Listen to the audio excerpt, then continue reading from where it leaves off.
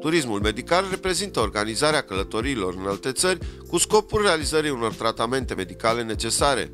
Persoanele care apelează la servicii medicale în afara țărilor au nevoie cel mai adesea de ajutorul unor specialiști și, de ce nu, la un preț mai convenabil decât în țara lor. Turismul medical în România o chestie în care s-a dezvoltat în ultimii 50 ani și putem să spunem cu mare mândrie noi medici care trăim în România că turismul medical este mult mai sus decât foarte multe țări foarte dezvoltate, ca și cum Spania, Franța, Italia, Olanda, Germania și așa mai departe.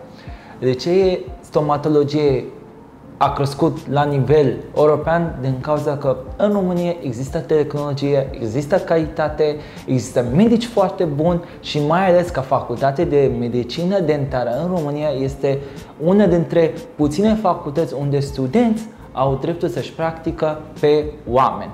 Astăzi, tratamentele specializate sunt accesibile oricui. Multe țări în curs de dezvoltare au medici și specialiști bine pregătiți care pot asigura aceleași servicii ca în țările dezvoltate, la același nivel de profesionalism, însă la un preț mult mai scăzut.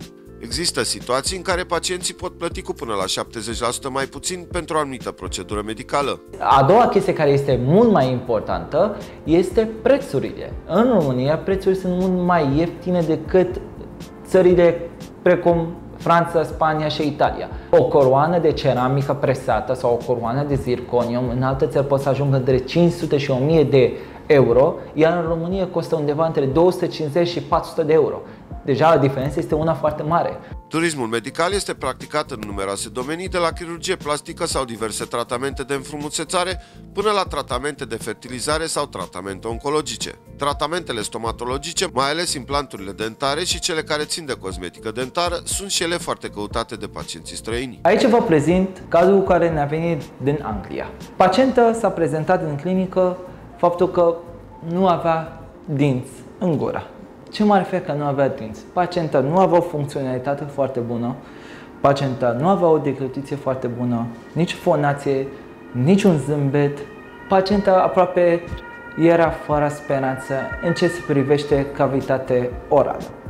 Pacienta a venit cu o lucrare pusă de ani de zile, cu niște dinți, gingile umflate, restul radiculare, foarte multe lipsuri și trebuia să ne apucăm să facem altceva.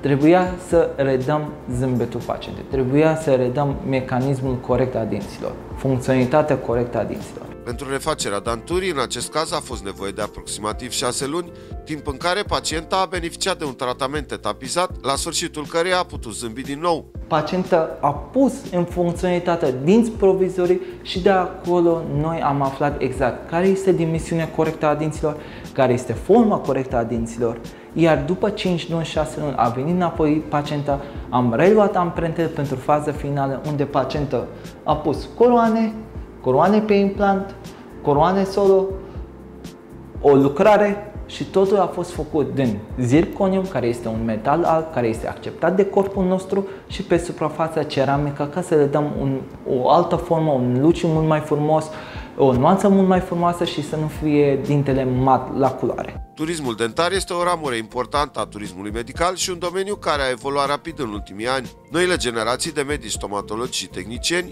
sunt foarte bine pregătiți și au acces la cele mai moderne tehnologii din domeniu.